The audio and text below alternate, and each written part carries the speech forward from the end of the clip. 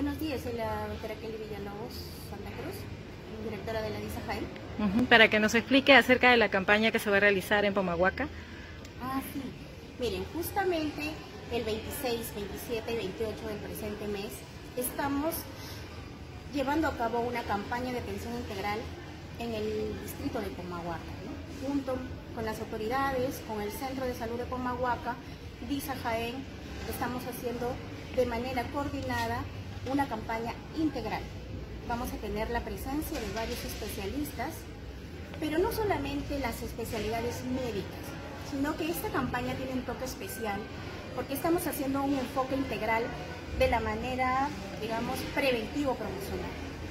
Aquí, en esta campaña, en estos tres días, van a haber especialistas, por ejemplo, en odontología, que no solamente te van a curar un diente, sino que también te van a hacer un tratamiento profiláctico te van a hacer una limpieza de dientes si lo requiere el paciente, una fluorización como parte preventiva. ¿Qué otras especialidades? Ajá, bueno, tenemos por ejemplo enfermería, las madres que lleven todos sus carnets de control de sus niños para ver si les falta alguna vacuna, se les va a vacunar tanto a, a los niños como a los adultos mayores, las vacunas preventivas como neumococo, DPT, y también este, se les va a las gestantes hacer su tamizaje y a los niños también su tamizaje de hemoglobina, ¿no? ¿Cuántas tenemos una tasa relativamente alta de anemia, a pesar de que hemos disminuido más del 4%, seguimos con problemas de anemia. Entonces queremos que este día las familias vayan, o sea, familias completas, que todos van a recibir una actividad preventivo-promocional, un destartaje dental, una curación dental, también pueden recibir planificación familiar, también vacunas y aparte las especialidades como oftalmología, medicina interna, este, ginecología, pediatría.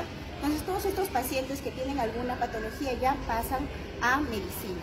Uh -huh. Y también las gestantes, por ejemplo, que no tuvieran su ecografía que les corresponde dentro de su calendario de control prenatal, podrían ir para que se hagan las ecografías. Van a haber médicos especialistas en ecografías también. ¿A esta campaña solo pueden asistir eh, asegurados al CIS o cualquier persona que no se asegurada? Esta campaña está dirigida a toda la población.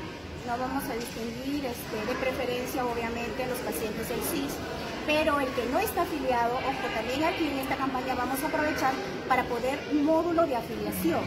Pacientes o personas que no cuenten con un seguro pueden ir para ser evaluados y para que puedan afiliarse y recibir una atención oportuna. No esperar que estemos enfermitos para ir a afiliarnos o por tener un seguro, sino ya desde ya prevenir y poder afiliarse para tener un, un seguro a futuro. ¿Las autoridades locales están también eh, trabajando con ustedes en este aspecto? Sí, sí.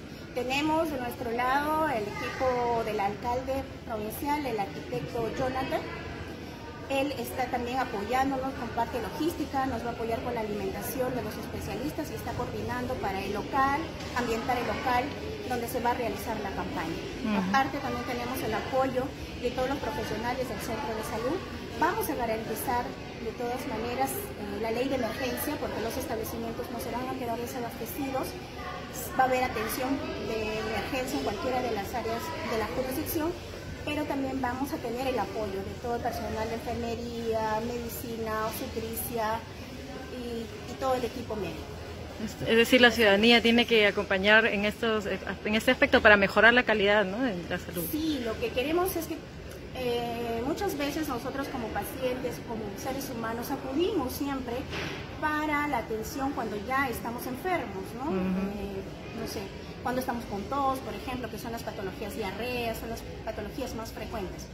Pero queremos que de repente ese paciente que tiene un proceso respiratorio puede evolucionar a una neumonía. Si este está vacunado contra el neumococo, por ejemplo, en un caso de un adulto mayor, se va a evitar este cuadro, ¿no?